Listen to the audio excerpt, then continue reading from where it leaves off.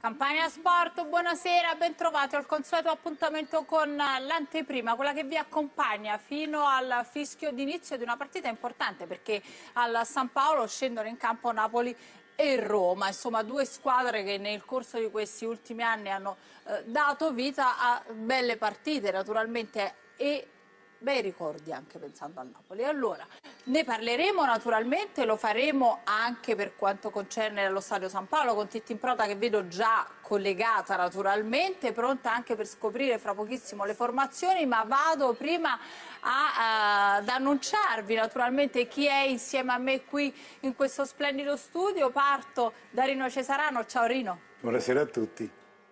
Vado dall'altra parte, saluto Umberto Chiariello, ciao Umberto. Buonasera, buonasera. Mister Gigi De Canio, ciao mister. Ciao Francesca, buonasera a tutti.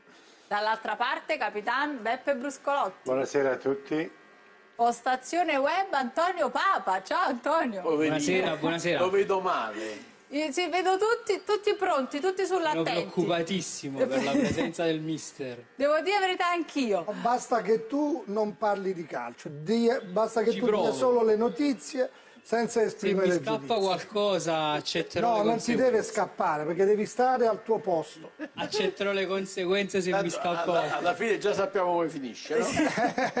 Ma già gliel'ho detto Finisce- che Tanto finisce allo stesso dobbiamo avere- modo. Dobbiamo fare questa cosa, che ogni volta che finisce la trasmissione e tu pigli la solita paccheriata, va messa su internet subito su Sarà fatto, fatemi andare... la gente vuole vederla questa cosa. Ma io credo che sia anche per nascere una pagina Facebook. Sì, pe- penso anch'io. De, La Ca- Busca De Canio Papa. maltratta cose, De Canio maltratta Papa, qualcosa del no, genere. io non ti maltratto. No, educa Papa. Educa, educa eh. Papa. Allora, fatemi andare da Titti in Prota, collegata al- all'esterno dello stadio San Paolo. Titti, ciao, buonasera.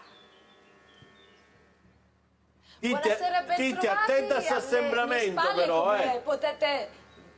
Attenta a tutto questo Eh, no, assembramento. assembramenti proprio non è possibile, però vi faccio vedere come secondo il protocollo Covid eh, insomma, si procede a, a far entrare i 70 giornalisti accreditati per eh, Napoli-Roma dopo sapete insomma eh, l'accordo che è riuscito eh, ad ottenere l'ordine nazionale dei giornalisti per poter accedere all'interno degli impianti eh, sportivi. L'11 titolare scelto da Gattuso è, è già ufficiale con Meret tra i pali, unica non sorpresa perché sappiamo insomma viste le condizioni eh, di Ospina tenuto in maniera precauzionale eh, a riposo che il portiere sappiamo già sarebbe stato Meret, eh, ci sarà, eh, anzi ritorna Costas Manolas lì in difesa al fianco di Koulibaly con Di Lorenzo e Mario Rui completeranno la linea a 4. A centrocampo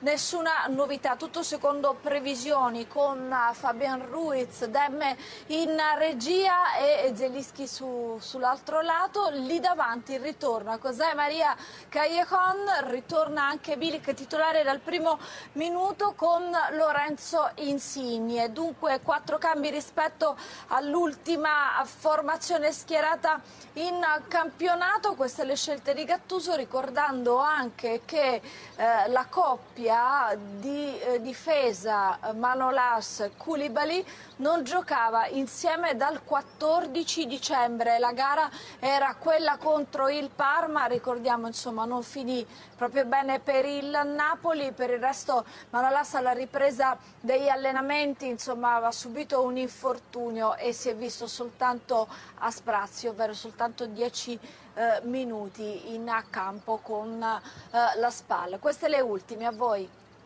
Iniziamo il nostro giro di commenti per la formazione. Io sempre, inizio sempre dal mister su- per quanto concerne le formazioni.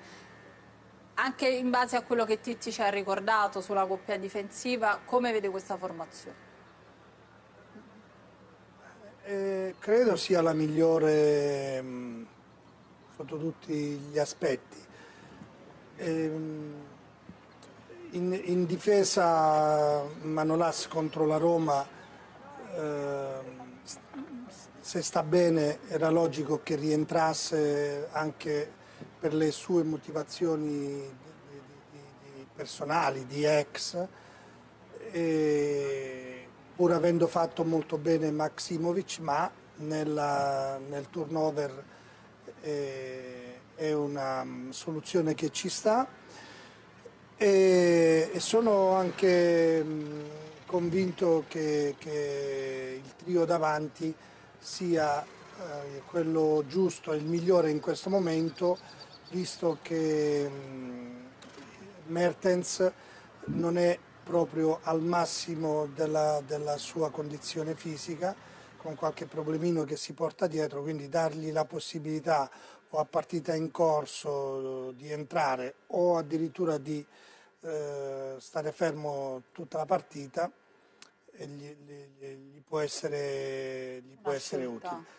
Per il resto mh, credo che siano i, i, i, giocatori che danno più eh, affidamento sotto il profilo della qualità e, e, e della tenuta anche psicologica. Umberto. Partiamo dal presupposto che ehm, la coppia Manolas-Koulibaly doveva essere la grande base su cui fondare un Napoli da scudetto ed è stato invece il grande bluff. È stata la più grande delusione di stagione. Hanno giocato poco insieme, ma quel poco che hanno giocato è stato disastroso. Umberto, perché si sono anche allenati poco insieme. Sì, sicuramente, ma per caratteristiche di entrambi, nessuno dei due è un leader della difesa, nessuno dei due la guida, nessuno dei due è un, è un ex libero per capirci, sono due stopper, per usare un vecchio linguaggio. E si è dimostrato che questa coppia è male assortita. Fisicamente sono due giocatori straordinari, di velocità, potenza, però io stasera, devo essere sincero, avrei voluto vedere Maximovic Manolas perché la base di partenza dell'anno prossimo è quella. Avrei fatto un turnover con Koulibaly, che non mi è sembrato eccellente. Um, molti hanno parlato benissimo di Koulibaly in queste partite. Non è il Koulibaly che ricordiamo noi, quello straordinario. È un Koulibaly, è un Koulibaly migliore di, questo, di questa stagione per lui disastrosa, perché ha giocato malissimo. Ha fatto una sola grande partita col Barcellona. Per il resto quest'anno non abbiamo avuto tracce di Koulibaly. Perciò mm, sono molto curioso di vedere alla prova una coppia difensiva che è male assortita per caratteristiche. Poi è ovvio che se uno ha la possibilità di allenarli, di, fa, di fare le ripetizioni, di fare tutte le prove del caso, i calciatori eh, sono esseri umani che imparano ma qua allenamenti non se ne fanno più perché qui si giocano ogni tre giorni, quindi non si allenano mai. Però sono curioso di vederli. Milik è un cambio, mi pare, quasi automatico. Riesumare Cagliecon è un'altra cosa che mi lascia perplesso, perché se a fine stagione arriviamo che questo ragazzo straordinario ci saluta, io mi auguro ancora di no, come dice Mertens provo ancora a convincerlo, Scusate, ma se non lo vediamo adesso per 8-9 partite di seguito a Lozano, quando lo vediamo più? Io vorrei capire se Lozano è un giocatore da Napoli perché que questi sprazzi recenti ha dimostrato di non essere quel giocatore impalpabile inguardabile che a un certo punto della stagione si era rivelato, un pulcino spaurito, lo vedevi anche nello sguardo. Adesso vedi un ragazzo sereno, sorridente, che entra in campo determinato, e che mostra delle qualità per le quali è stato apprezzato e comprato. Per esempio, ribadisco la partita a Bergamo, mi sarei aspettato lui e non Politano ad attaccare dietro le linee difensive dell'Atalanta. Se vogliamo poi dire che Gattuso è perfetto, è un santo, non si può criticare niente, allora non critichiamo niente. Se vogliamo esprimere qualche opinione, fermo restando che una stima infinita di Rino Gattuso, queste sono le mie perplessità. Le perplessità. Allora, sulla difesa ovviamente vado dal capitano e poi passo a Rino anche sulla questione Lozano e l'idea su Caglione. Beh, sulla difesa ha detto molto bene Umberto, perché insomma quelle che possono essere le idee, le prospettive sono quelle, però poi sono altri fattori eh, giornalieri, bisogna vedere le problematiche della squadra durante la settimana però comunque è un momento anche per vedere Manolas in che condizioni sta, anche per avere un quadro più preciso pure, perché è un buon giocatore, però durante l'anno eh, ha spesso questi infortuni e quindi bisogna anche pesare tutto questo. I due Maximovic sono tutti e due soggetti spesso infortuni. Sì, eh. quindi poi Questo bisogna vedere serio. chiaramente chi partirà, perché adesso tutto bene, però alla fine credo che tireranno le somme, perché eh, è una squadra che sta facendo bene, eh, tutti, chi ha giocato prima, chi è subentrato. La verità, eh, per certi versi eh, mi sono meravigliato, perché sembrava che Napoli, gran parte di loro potessero già andare da una parte e dall'altra, però qui mi ripeto ancora e dico che la mano dell'allenatore insomma, eh, ha salvato tutto, perché ha rimesso in sesto tanti giocatori e principalmente un Lozano che io qualche giorno fa mi sono espresso pure quando ha fatto giocare Politano, perché francamente esprimo il mio pensiero, perché non voglio ledere eh, nessuno, però eh, siamo qui per, per dare Certo. il nostro eh, pensiero e io lo dico perché se devo vedere Lozano in queste condizioni e vedere Politano che al 90% in una gara fa la stessa giocata, cioè questo abbiamo due giocatori completamente diversi. Uno che è imprevedibile perché va su tutti e due i lati, una velocità incredibile, punta all'avversario, ma principalmente va verso la porta. L'altro è il contrario, cioè vada solo da una parte, si accentra per poi mettere la palla. Io, per quello che è stato il mio modo di vedere, preferisco un giocatore del genere, perché un giocatore imprevedibile ti può scardinare la difesa, perché un giocatore che al 90% fa sempre la stessa giocata. Francamente, ai miei tempi ti dirò, Chiaro. Lo guardavamo già con gli occhi, non c'era bisogno, Chiaro. che sapevamo già che andava solo da una parte. Lidl mi avrebbe detto ci metto una sedia a marcare. sì, sì, Ricordi sì, io sì, cosa facevo? Francesca, posso... Sì, e poi voglio andare da solo Rino. un secondo, non per rubare la parola. Volevo dire una cosa a proposito di quello che diceva Umberto prima di Koulibaly.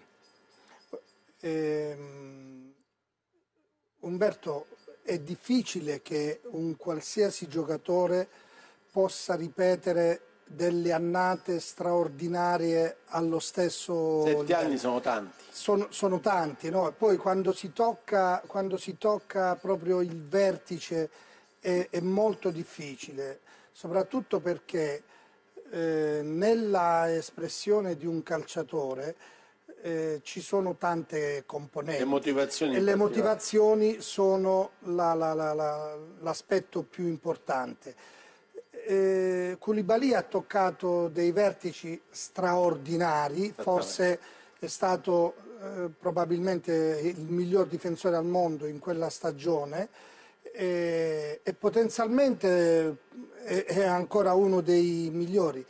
Naturalmente le condizioni della squadra, l'andamento del, del campionato, eh, eh, come hai detto tu, sono uomini e deve Però c'è una aver cosa, fatto scemare. Gigi, c'è una cosa che mi ha deluso di Koulibaly, che è un ragazzo adorabile. Praticamente- parlare Rino. Ora arriva Rino, non arriva Voglio- Rino. vorrei finire con la difesa, eh, Rino è un amico, quindi non è che non poi devo tornare anche da No, no, vai, Rino. Tira, tira le somme. La, No, no, la cosa importante tutta la questione di Koulibaly è la preparazione, perché signori non ci, Non non ci dimentichiamo che è, arrivata, è arrivato Eh sì, una settimana quando Anche- si è cominciato eh, a giocare. eh, e lì, e ti- lì te la dice tutto perché ti devi augurare innanzitutto che non ti succede niente. E abbiamo visto pure che poi col passare del tempo ha avuto l'infortunio. Qualche infortunio. cioè è impensabile che un giocatore come Muscolare, lui si potesse far serio. male. Può accadere però con la sua struttura con la sua forza è stato pure in tutto questo. Allora, perché no, poi abbiamo fatica, visto, eh. abbiamo visto pure la difesa perché lui in quelle condizioni eh, insomma la difesa ha Koulibaly perso, ha perso tantissimo fisico per non è aveva, non aveva, dire ma non perché- aveva più quella spinta quel No, ma io recupero. volevo, tu sei volevo stato- aggiungere su Koulibaly e volevo sapere Rino cosa ne pensa, perché Rino è un acuto osservatore e poi eh, conosce la storia del Napoli molto bene. Koulibaly probabilmente se volessimo fare una Hall of Fame eh, azzurra noi dovremmo dire che la coppia Kroll-Koulibaly ha rappresentato il top della storia del Napoli. Quindi stiamo parlando del miglior difensore di tutti i tempi della storia del Napoli. Quindi partiamo da un rispetto totale verso il calciatore e verso il ragazzo, che si è rivelato anche un uomo straordinario. A Napoli addirittura lo volevano capitano, sindaco, è stato oggetto di razzismo, di cori beceri, quindi per carità. Però io sono deluso da Koulibaly, su un piano. Questo doveva essere l'anno del post Albiol, del salto di qualità di Koulibaly come regista difensivo, come leader della difesa. E invece si è visto che lui con Albiol rendeva il triplo perché è un grande interprete se viene guidato. Ma se deve essere lui a guidare la difesa ha dimostrato di non saperlo queste fare. caratteristiche o ce l'hai Esatto. o non ce l'hai. Ma perché lui era uno che impostava molto l'azione, così come Albiol, si pensava che Maloas fosse l'uomo di rottura e Colibali l'uomo di costruzione. non può. Invece no. Rino. Sì, anche per, per fare quello ci vuole anche una maturazione definitiva, una, una certa personalità, un- una, un'adattabilità adattabilità a fare quel tipo di, di. Però io vado ehm, in poche parole, ehm, come concettualità di fondo ha ragione Chiariello quando dice proviamo quei giocatori che si sa che restano. Eh. e quindi visto che eh, ci sono queste nove partite vediamo un po' di, di che, pasti, di, di che panni questo- vestono Lozano e gli Ma altri non lo può fare un allenatore perché un allenatore ha i giocatori a disposizione, se i giocatori gli danno la disponibilità, lui deve essere proprio perché predica questo verbo, un allenatore che dice ai suoi giocatori dobbiamo essere tutti professionisti fino in fondo, lui per primo poi deve dare la dimostrazione di scegliere libero da, da, da, da, qualsiasi dell'anno prossimo, e quindi, Perché a- e a quindi- Non ha avviso- più obiettivi in e, questo e campionato. quindi, e quindi Beh, co- eh, concludo, perché ragazzi, finire- fatemi con- finire concludere. bene e vincere tutte le partite che, che è un obiettivo importante per la costruzione anche di una mentalità. Facciamo concludere quindi così eh, poi vado eh, la concettualità di fondo è giusta, ma la logica dell'allenatore che vuole vincere Ah, questa partita, scusami. che ha degli equilibri consolidati con Caglion e gli altri, eh, si può anche È capire, certo. perché non ci sono grossi una esperimenti piccola critica, in, in partenza, ci sono, evidentemente lui questa partita ci tiene a vincerla, io ho solamente delle piccole remore sulla tenuta eh, del centrocampo perché ho visto che i tre lì in mezzo eh, a Bergamo hanno accusato qualche battuta a vuoto alla distanza. Hanno iniziato Eh beh, bene, hanno iniziato bene e poi dopo, quindi lui insiste perché vuole vedere fino a che punto questa squadra riesce ad esprimersi con il supporto di Caglion che gli viene a dare una mano di là e Insigne di là. Quindi è Milik centrale che sta meglio di me. Quindi ha una sua logica, diciamo. Io invece sono curioso di rivedere all'opera Lobotka, perché io ti dico quello che è il mio pensiero. Se vai a prenderli individualmente, Demme e Lobotka, Lobotka vale tre volte Demme, tecnicamente parlando. Ma Perché non ha le Lobotka c'ha, caratteristiche. Lo- Lobotka c'ha il breve e il lungo, Demme c'ha solo il breve. Lobotka tecnicamente è un giocatore che ha anche accelerazione in, in avanti e ha più inventiva. Demme è un giocatore tattico che in questo momento è insostituibile, non sto dicendo, però così come è entrato Lobotka a Bergamo e ha fatto bene, così come con la SPAL ha giocato tutta la partita e ha fatto bene, io penso che Lobotka possa diventare un calciatore importante di questo Napoli, perché il Napoli per crescere deve avere giocatori di tecnica superiore. Lobotka lo può essere, Demme è un giocatore limitato, anche se utilissimo. Sì, sì, sono d'accordo, però stasera attenzione che c'è una Roma che tutti danno allo sfascio. Mi hai dato il destro, anche il Anche sinistro. perché una grafica attimo. mostra, vai così poi vado da Titti. Dobbiamo dire una cosa importantissima. Il Napoli non batte la Roma disastrata di questi ultimi anni da 5 Per anni. cinque anni. Poi c'è un secondo aspetto. La Roma al San Paolo ci ha dato tanti dispiaceri. Noi Abbiamo la ricordiamoci... grafica su questo, Dico- eh, falla vedere quello- la grafica. Eh, Noi abbiamo perso uno scudetto nell'88, il sorpasso del Milan, L'inizio Ecco. della Slavina nacque proprio dalla sconfitta in casa con la Roma, quella maledetta sconfitta da cui si originarono poi tutti i guai del Napoli, che in quel momento era nettamente in testa alla classifica. A Napoli Zeco l'anno scorso ha fatto il fenomeno, sembrava Van Basten. Cioè la Roma a Napoli ci ha dato sempre il filo alla torcia, mentre a Roma abbiamo dei ricordi straordinari. Nel 73 Quello parlavo quando ho detto dei nel ricordi 73 all'inizio. il signor Bruscolotti ricorderà che segnò Braglia l'1-0 con Vinicio e la gente cantava sugli spalti Che canzone cantava? Oito vita mia. Non era un giorno all'improvviso. No, era Oito No, vita certo. Nel poi fatemi 73. tornare da Titti. Nell'86, il giorno in cui esordì Romano nel centrocampo del Napoli, Giordano diede una palla straordinaria a Maradona che fece un gol altrettanto straordinario e da lì partì la corsa a scudetto. E ricorda anche il pareggio di Francini, no? I nove uomini. In nove uomini. E ricordo pure quel maledetto 2-2 del San Paolo che ci costò la retrocessione Eh. e, e fece frenare la Roma per lo scudetto che poi lo vinse col Parma la domenica dopo. Insomma, Allora. sono state sempre partite molto... infatti, molto, anche molto belle solitamente. Titti, partendo da questo, ma anche proprio dal fatto che la Roma, come abbiamo visto anche in grafica, è stata sempre un po' la bestia nera negli ultimi anni allo stadio San Paolo. Roma che sceglie una difesa a tre questa, questa sera per affrontare il Napoli, insomma stavate eh, ricordando che appunto è sempre stata la bestia nera per il Napoli al San Paolo, quindi sarà una gara sicuramente molto attenta. Ritorna Paolo Lopez tra eh, i pali, questa è sicuramente una novità per quanto riguarda eh, l'11 eh, della titolare della, della Roma. Nei tre di difesa ci sarà il brasiliano Ibanez con Mancini e Smalling e completeranno invece la linea di centrocampo Spinazzola, Vertù, Pellegrini e Zappacosta, Kluivert e Mkhitaryan alle spalle di Edin Dzeko. Anche questa eh, una novità per affrontare il Napoli questa sera. Però visto che parlavate di Amarcord di altri tempi, eh, bene eh, ricordare che oggi è il 5 luglio e eh, nell'84 nello stadio che vedete alle mie spalle eh, 80.000 persone erano presenti per salutare per la prima volta a Napoli Diego Armando Maradona. Quindi rivedere oggi, dopo tanto tempo, lo stadio Vuoto. vuoto ai tempi eh, del Covid, post-lockdown, fa sicuramente un certo effetto.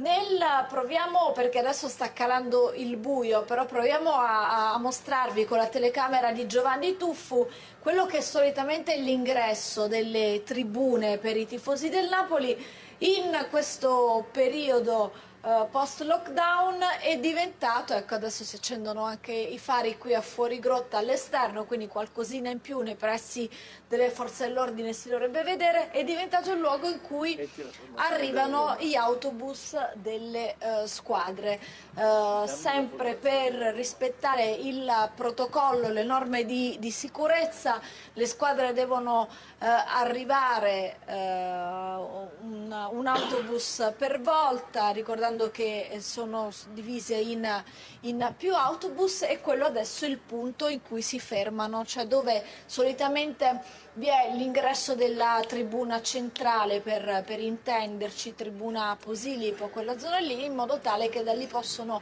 accedere direttamente alla zona spogliatoio. Insomma, così cambia il San Paolo ai tempi del Covid. Non so se l'avete già ricordato o comunque eh, detto in studio anche di quello che è accaduto relativamente alla partita per il cambio d'arbitro perché a dirigere la gara questa sera eh, sarà Rocchi che è andato a sostituire di bello, non c'è stata da questo punto di vista eh, spiegazione, motivazioni sulla, eh, sul cambio del direttore. di Avrà gara. avuto qualche problema di bello, altrimenti non si spiega, perché Rocchi è stato impegnato fino all'altro ieri, quindi Sì, c'è stato qualche problema in- piuttosto serio, altrimenti non si cambia un designatore, un, un arbitro così.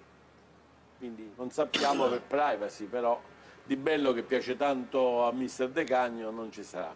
Sì, sì. Mi spiace. Capiremo, non, non credo che poi si... Ecco, Anche- anche per loro è un problema. Arbitrare ogni tre giorni, Ah, il eh. caldo. Tra l'altro Rocchi sta facendo malissimo in questo finale di stagione dove lui abbandonerà e credo che psicologicamente stia subendo il contraccolpo di questo suo abbandono che Speriamo non lo subisce stasera. Eh, le ultime due partite è stato nel Eh. centro di tutte le critiche perché ha arbitrato Di Bello, male. Di Bello è uno dei, dei- dei- dei giovani più, più bravi, più promettenti. Molto sereno ma deciso. Mi è sempre molto parlato bene. attento, sì, sì, sempre vicino alla- all'azione. eh, poi sa essere sempre equilibrato. E noi quelli che vengono da Brindisi sono sempre piaciuti, Vinicio, Boccolini, La Palma, o no? Sì. Allora, eh, Allora, vorrei vogliamo riepilogare le formazioni per capire meglio. La Roma, per esempio, come gioca tatticamente? A tre. Titti. Tre dietro. E avanti come gioca? 4-2-1, eh. E i due. chi sono? I due chi sono dietro Zeco? Eccole qua. Clivert, uno è Clivert. Gioca Mkhitaryan e Clivert. Clivert e Mkhitaryan alle spalle di Geco, eh. Quindi gioca Zappacosta a destra e Spinazzola a sinistra e la coppia centrale è Lorenzo Pellegrini e Veretù. Quindi Veretù, Pellegrini, Pellegrini. Pellegrini gioca nei due e non gioca nei tre dietro, non gioca nel- nei due dietro Zeco. Ehm, non è tanto il suo ruolo, è questo di Pellegrini. Pellegrini si esprime meglio quando, perché tra l'altro è uno dei No, migliori la assist. vera novità è l'inserimento del brasiliano, no? I Bagnez lì nei, in nei- difesa. in Fazio, difesa. perché Fazio è uscito l'altra partita per eh, Crampi, era, Ha non, giocato era, malissimo, tra l'altro. non era eh, idoneo dal punto di vista fisico perché il ruolo è Questa è una bocciatura di Diavarà, per esempio, perché nei, nei Anche. due, eh, ma Diavarà ha fatto dei disastri in queste ultime partite clamorosi. Cioè, la Roma è una di quelle che ha perso più palle in uscita nelle ultime partite eh, di tutte. E, e Diavarà ne ha perse tante. Il tanto decantato Under neanche gioca. Under non gioca, Under non Neanche gioca. Anche perché se- ormai è- se ne parla anche in Sai, io faccio fatica a giudicare un acquisto di Under per un motivo di fondo, perché sono convinto che questo ragazzo tecnicamente è fortissimo, no forte, ma eh, nel suo primo anno alla Roma fece una stagione, partì tardi perché inizialmente non era titolare, però dopo si prese la maglia e fece benissimo. Lui ha un sinistro, però è all'apolitano, cioè gioca a destra ma è mancino e rientra. A me sta storia di avere due esterni a piedi invertiti non è che mi faccia tanto piacere perché perdi in profondità. Se Lozano Essendo- no. Se gioca Lozano no. Se, se tu giochi con... Se È completamente giochi per Perché sono caratteristiche Diverse, appunto, devi Poi dipende da che gioco. cosa l'allenatore chiede alla, alla, alla, Eh, alla- mister, ma all'attacco. tenere uno che va su tutti e due i fronti Eh, è difficile è per difficile- un difensore. è Quando trovo uno, diventa- uno come ma Lozano spiegato co- molto bene così prima. rapido è difficile. ti può puntare che- a sinistra come bravo, a destra, bravo. invece A proposito. là sai già che ti rientra sul sinistro. bravo. Poi perché ti attacca anche eh, ti attacca alle spalle anche senza palla quando l'azione Infatti Cagliacon è un maestro nel genere. Eh. Però questo Under è, uno- è un altro di Parliamone. quelli, è un altro di quelli che gioca, non gioca, si infortuna. Allora, se ti esplode hai preso un grande talento. Però il Napoli a botte di 25 milioni sta buttando soldi con la pala perché perdi 25 milioni. Politano 25 milioni. Non puoi rischiare. Under Facciamo così. 25 Non puoi milioni. andare sempre Facciamo a così. pigliavi uno da 75 avevi Facciamo così, visto che c'è un servizio che ha realizzato Antonio eh, Papa proprio sulla questione Under, mentre noi ci prendiamo anche un caffè tra pochissimo perché insomma vedo Luisa Sì, qua che saluto. Abbiamo anche un collegamento eh, Skype Sì, tra importante facciamo perché anche quello. salutiamo un'altra squadra campana che sale in Serie A. Lo eh. facciamo tra pochissimo, però visto che ne stiamo parlando, guardiamo questo servizio. abbiamo toccato un anno fa, quando il Napoli dei cugini romani prese in mano l'AS per 36 milioni, o meglio 15 milioni cash più il cartellino di Amadou Diavarà, valutato 21. Solo due anni prima, l'arrivo di Mario Rui per circa 10 milioni di euro all'insegna di un rapporto di reciproca collaborazione che col passare degli anni sta iniziando a dare grandi frutti. Tra qualche mese potrebbe toccare anche a Jordan Veretout, indicato come uno dei possibili acquisti del dopo Allan, ma soprattutto a Cengiz Ünder, 23 anni, nato il 14 luglio 1997, è un esterno destro di piede sinistro, proprio come piace a Gattuso, grande promessa del calcio europeo, devastante quando trova continuità nelle prestazioni, il limite sono dei muscoli un po' fragili che spesso lo hanno costretto fuori negli ultimi anni. Per lui la Roma inizialmente ha sparato molto alto, dando un prezzo di circa 40 milioni di euro. In realtà una valutazione realistica si assesta intorno ai 30, cifra che il Napoli proverà ad abbassare ulteriormente provando ad inserire una contropartita tecnica. Ma stavolta l'affare potrebbe chiudersi anche così, senza alcuno scambio